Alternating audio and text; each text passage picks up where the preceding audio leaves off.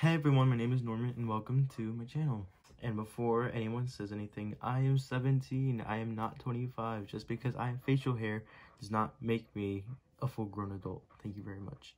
So today I wanted to do something that someone suggested I, you know, should do. And I was, you know, thinking about doing this for a long while now. But, uh, you know, Today, I will be telling you my top 10 Disney Channel shows. Now, mind you, I was born in 2003, so I'm a Generation Z baby, or a Zoomer, whatever you want to call me. But, um, I have different opinions, and, you know, that's okay. We're all allowed to have different opinions on what shows are our favorites, because everything is subjective. So, for example, someone who was born in the 90s may have completely different you know, opinions than me. Same thing with someone born in the 80s or even the 2010s. So, you know, let's try to be respectful of each other's opinions. It's Raven's It's Raven's no matter the weather, you know we gon' shine. There for each other, you know it's our time. Alright, number 10, I have Raven's Home. Now, um, I never really grew up watching original That's So Raven because well we didn't really have Disney Channel at the time, so I never watched it. The only time I ever watched That So Raven, other than on Disney Plus, was in Guatemala whenever I visited, uh, and uh, they were playing the reruns on TV. So I was like, mm, that's That So Raven. It looks kind of cool, and you know I've been watching some of the uh, best episodes uh, according to IMDb on Disney Plus, and you know it's a pretty good show. And uh, Raven is seriously one of the best actors, you know, Raven-Symoné. And also the character Raven Baxter, she's just so funny. and um, what's it called? Chelsea. Chelsea is a good sidekick. I was about to say like Anneliese. Like what's her character's name again? Chelsea, right? And uh so but I think in Raven's home, they both shine like even 100% more because they, along, you know, their kids are the main focus. And so, also, I just like, like things that are more modern, like set closer to present time. So, I don't know. That's just my opinion. Um, yeah.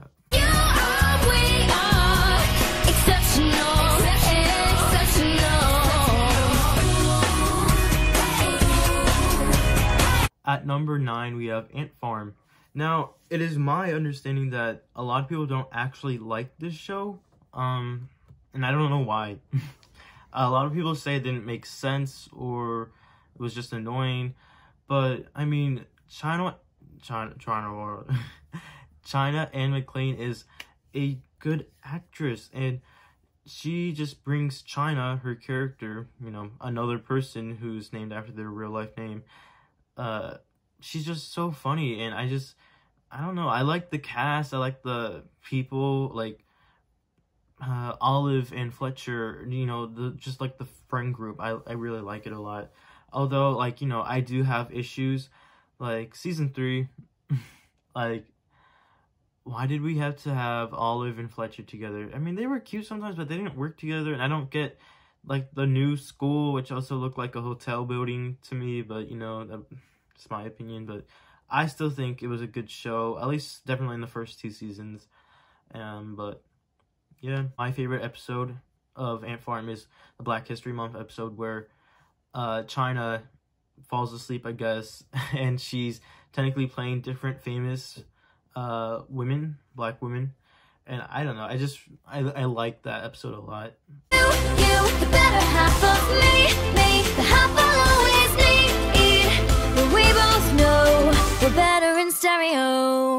At number eight, I have Liv and Maddie. Now, also, people don't like this show. You know, I get it. It's because like, oh, like it's new Disney and it just you know it wasn't i guess good for a lot of people and you know i kind of see where some people come from as in like it's like really like kitty and it doesn't like make sense sometimes.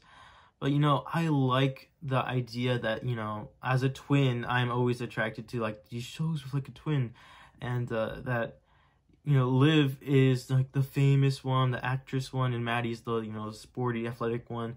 And I think that you know, Dove Cameron having to play two different characters on screen. It's just so impressive. And her acting, I know some people say, you know, the acting is trash, but I think her acting is pretty good.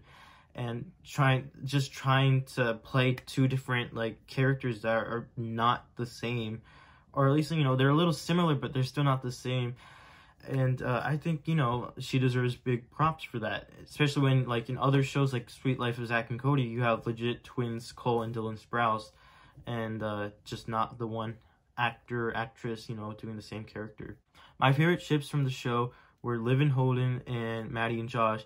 But if you watch the show, then you know that none of them got together. You want to know why? It's because Diggie, Diggie, Diggie, Diggie was the actor. I mean, I don't know his name, but um, apparently they were he was dating Dove um, and uh, Disney or whoever decided that it was best that they, you know, stay, I guess, dating on screen and also off screen, which doesn't make sense because Liv and Holden were really good together, and Maddie and Josh were really good together, and uh, just also they provided really good reasons as to why Maddie and Diggie shouldn't have gotten back together, and yet they got back together, and so I don't know. I think those like legitimately my only issues.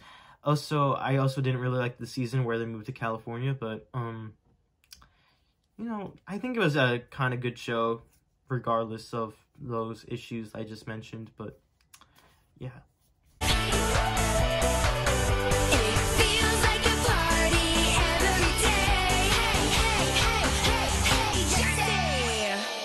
At number seven, we have Jessie.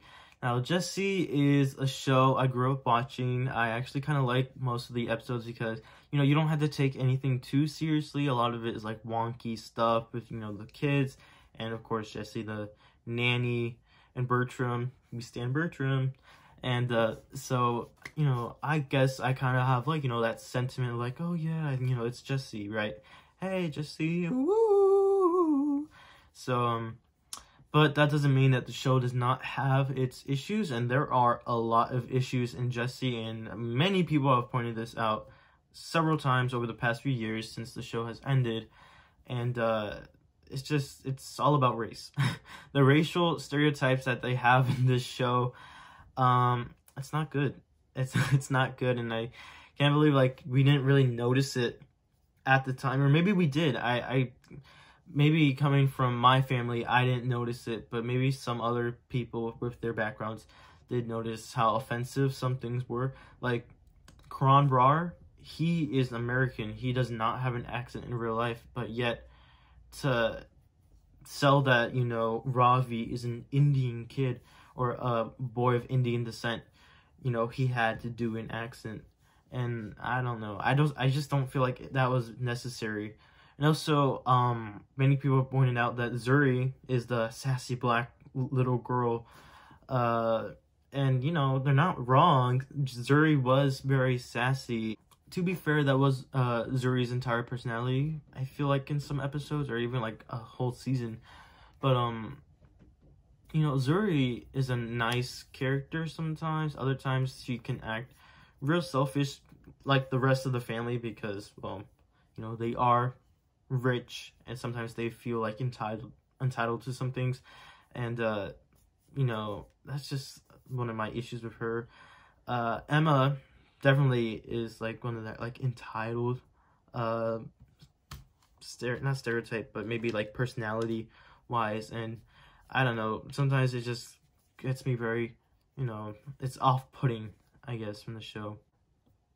Cameron boyce's character you know it sucks that we don't have him anymore, but I think he was a legitimately, you know, they're all good actors, but he, you know, he played his role being Luke and stuff. Luke was definitely one of my favorite characters on the show, even if, you know, a lot of a lot of the stuff he did was, you know, wonky or, you know, wacky or just, you know, shenanigans like him and his obsession with, you know, Jessie and like, you know, wanting to date her and stuff. And uh but you know, I kind of liked his character. Um now, if there's one thing I've learned in 2020 is that nobody is that huge of a fan of Debby Ryan's acting.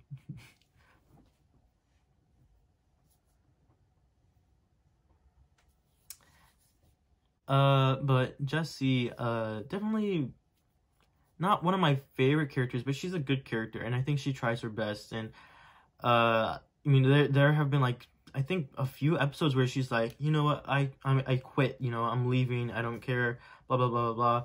And uh, if this was real life, I feel like someone like that, you know, with those with that type of you know family would have like quit a long time ago. So like, I don't know, she has patience, but I also think, like, I don't get how come she was like always poor or like didn't have a lot of money or like she couldn't get anyone to date her. I mean, I don't think she was like that insufferable, but I mean, she must have been getting at least a good paycheck working for the Ross family, right?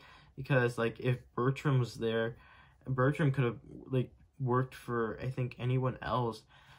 He really didn't he he didn't like the kids and yet he stayed there. And so I mean there must be some, you know, money going towards them, but you know, Jessie's still I guess having trouble doing stuff in New York City.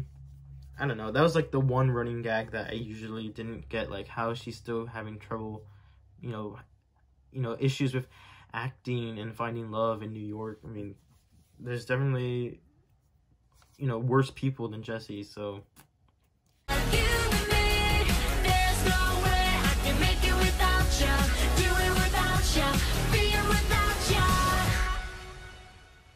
At number six, we have Austin and Ally. Now, this is a favorite show of mine, and uh, I just like the cast of characters. I like um, Austin, I like Ally, I like Trish, I like. Dez. Dez is honestly one of the funniest characters to ever come from Disney Channel. I mean, everything he says. I watched a compilation like maybe a year ago, and he's just like so funny.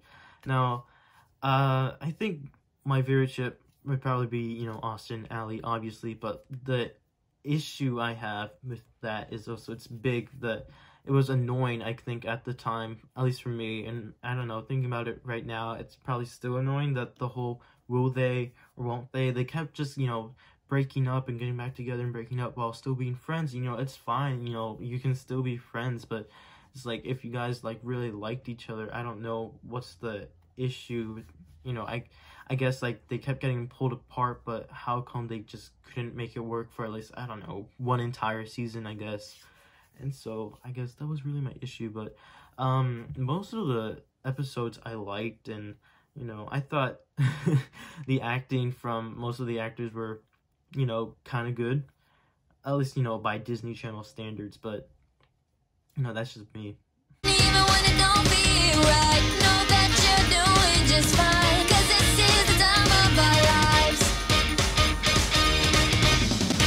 At number five, we have I Didn't Do It. Now, this show, I don't think a lot of people remember. It only lasted for two seasons between 2014 and 2015. And, uh, well, I just, I really like it. I don't know.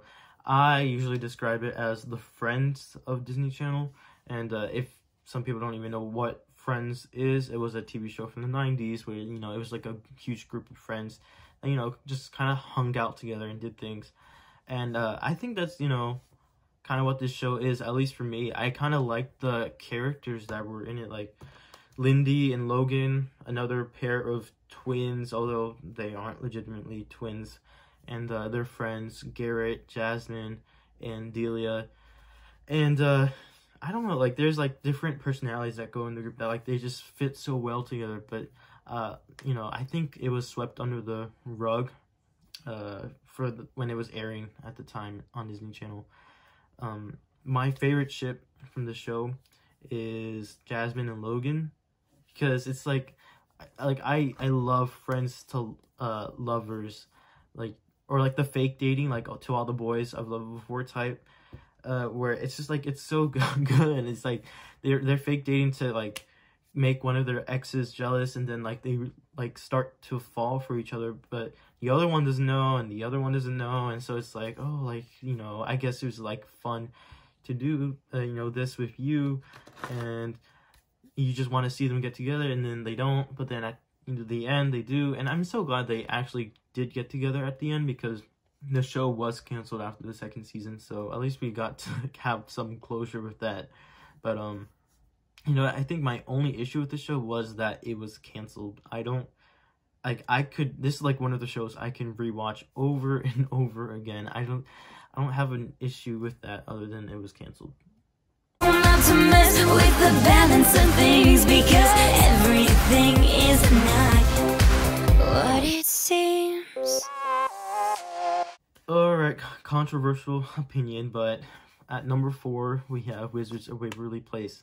Now I know Wizards, you know, a lot of people grew up with the show and Selena Gomez and you know the whole shebang. But um, you know, I like Wizards, but there are definitely other shows I feel like I can like rewatch more or like more.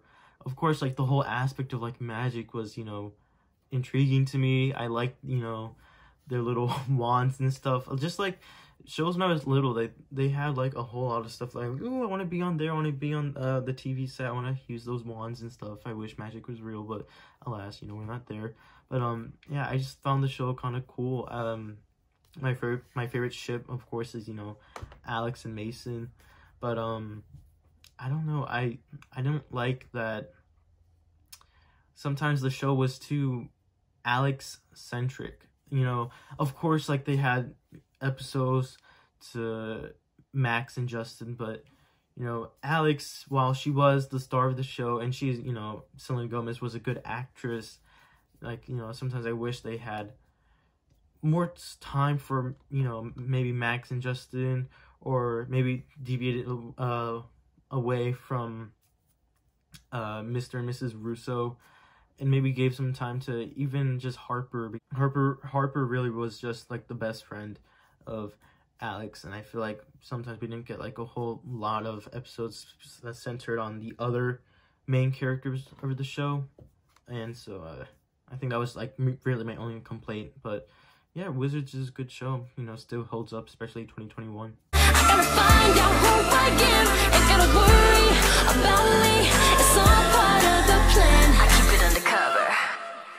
keep it undercover. All right.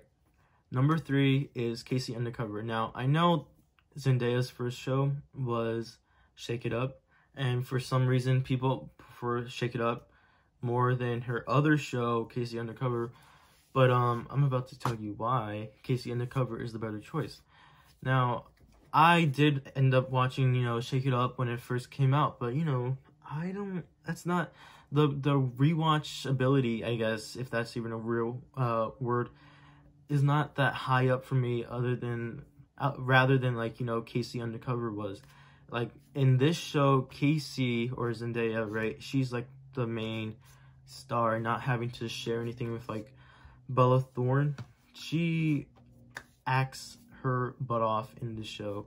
Of course speaking in Disney Channel standards she you know is a teenager. She goes through the some relatable things like oh like studying and not being able to have time for friends, but of course, entirely different reasons because she's a spy, she's a family spy, and I just think the whole aspect of like being a teenage spy, kind of like how, uh, is interesting, kind of like how Hannah Montana being like the secret superstar was kind of like a whole aspect for that show and what got a lot of people interested. Um, my main issue with the show is that it's underrated. I don't know why people don't like the show or haven't, you know, watched it or caught onto it, but it really is a good show.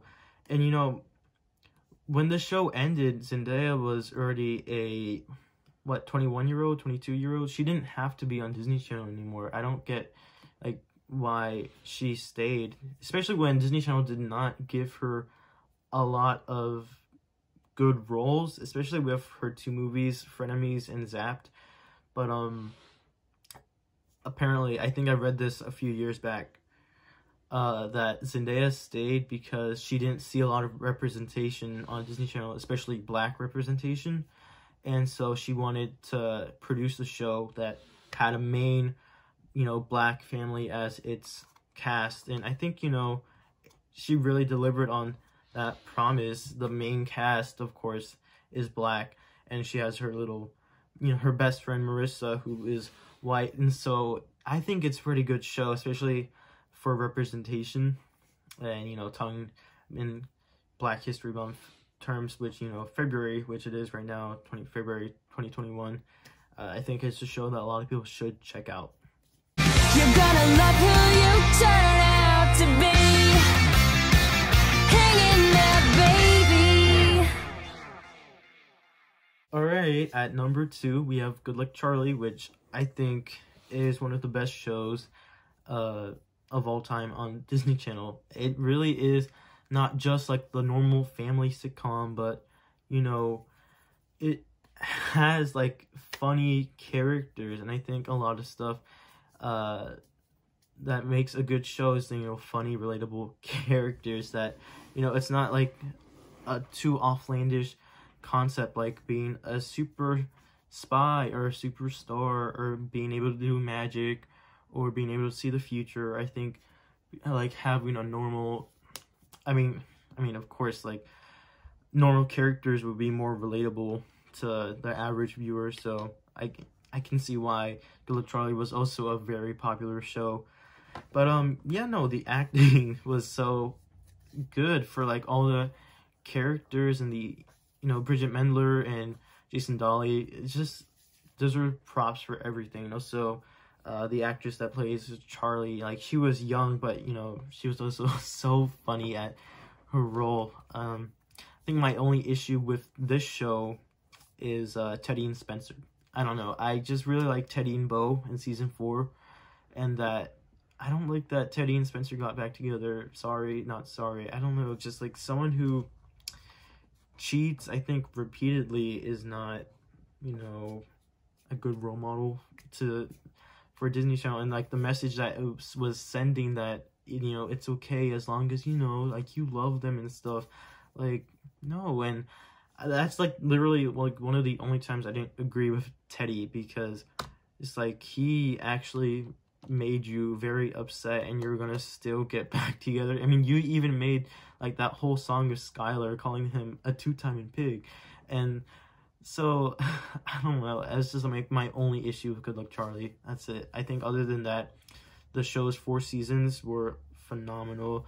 And uh, I really like the crossovers too. I like the crossovers with any Disney Channel show because like it's just like nice seeing more than one show like interact and it's like also like like the mind blowingness of like oh my god like they exist in like this one entire shared universe. So uh I think that was uh that's it for Good Luck Charlie. Tomorrow starts today. There ain't no map to follow, but I'm with you all the way. All the way. And finally, we made it to number one. So, my number one show of Disney Channel is Andi Mack. And uh, I think if you're subscribed to my channel, you wouldn't be surprised by that fact. Andi Mack came out when I was in middle school, or at least when I was finishing middle school, and it ended when I was like halfway done through high school. And uh, I don't, I just love this show so much. And if you guys didn't know, it is made by the same person who made uh, Lizzie McGuire, which is I think is why I like it so much. Like the newer generation has Andi Mack to grow up with, while the older generation had Lizzie McGuire. And uh, you know, some people will say that Lizzie McGuire is better than Andi Mack, and I would say that Andi Mack is better than Lizzie McGuire. But I also am just like a huge fan of like drama. like I love telenovelas, and so this is like a whole dramedy show, and I just I don't know I I love I like drama, but um I've heard a lot of people say that the show is too dramatic, and I think that's true. Sometimes it does get like very dramatic for sometimes no reason at all. But um you know what?